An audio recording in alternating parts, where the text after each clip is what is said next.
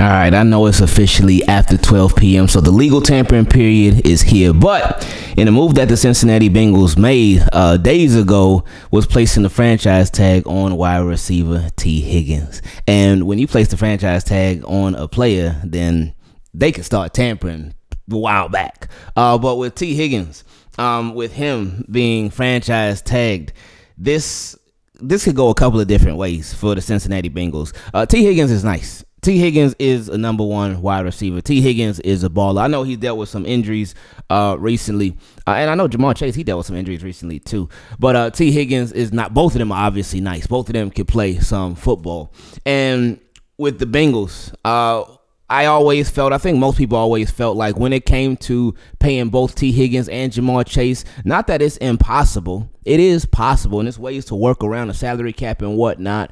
But figured a lot of us felt like it was highly unlikely that both of them end up getting their bread from Cincinnati. Again, it's still possible. It can still happen, but I just I don't think it's likely.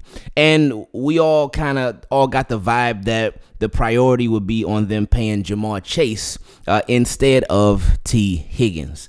Uh, Ja'Marr Chase was, I think, what he's number four overall pick, and just because he was drafted that high doesn't mean that he would automatically be the priority. But it just seems like he would be the priority uh, in Cincinnati.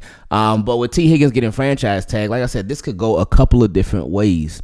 Him being franchise tag does not mean it's over. Him, but him requesting a trade, it's like, ooh, oh, he, he requested a trade. He wants out from Cincinnati. Ooh, but that also does not mean that it's over. We've seen this happen uh, in the past with so many different players. They get franchise tag. Players don't like being franchise tag. They want long term deals, and if they can't get a long term deal from their current team, then it's a business move. That's it. It's just a business move. This is letting the Bengals know, like, hey, let's get a long term deal done. If y'all don't want to get a long term deal done with me, let me go somewhere where somebody will get a long term deal done with me because I want my bread. Staying in the AFC North, we saw this just last year with Lamar Jackson. The Baltimore Ravens placed the franchise tag on Lamar Jackson, and Lamar Jackson put out that series of tweets, that thread, like, hey, I requested to be traded like 20 something days ago, and they haven't honored my request. I'm requesting a trade again. And it was like, oh my goodness, not Lamar Jackson. So we saw how that worked out. A deal was done. Now with Tee Higgins, again, it's a bit different.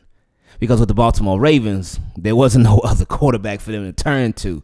Uh, with the Cincinnati Bengals, again, I think the priority is Ja'Marr Chase as far as deals getting done. Now, you can't rule out, because Bengals got some money to, to play with, you can't rule out him playing on a tag.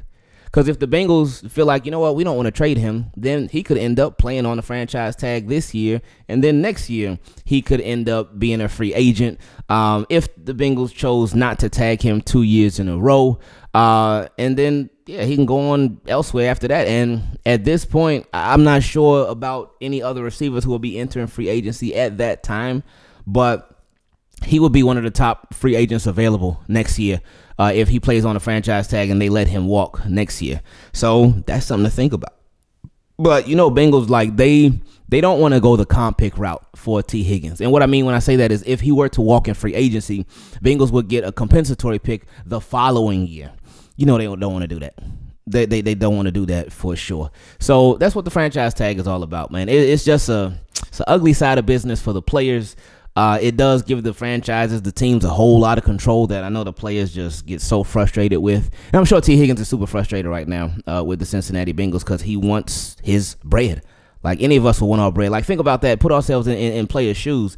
If we had spent four years with a company and we would do for a big raise. And we knew that there were a lot of other companies that would hire us like that, and they would give us a big raise like that. But the company that we worked for, they said, "Oh, nope. Oh, oh, you think you're getting ready to go to one of those other companies for free without us getting anything?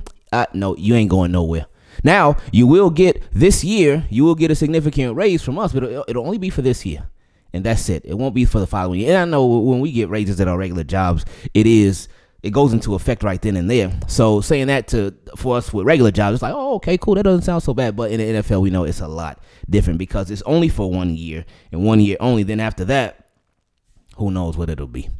So we'll see what happens with Tee Higgins. Uh, like I always say, subscribe to the channel, turn your notifications on because today it's starting off a bit slow, but once it picks up, y'all already know how it goes with NFL free agency. Leave a like on the video because it helps out the channel a lot and it'll allow you to keep on getting recommended to this channel if you like it, of course. I love y'all, team. Keep it clean. I appreciate y'all.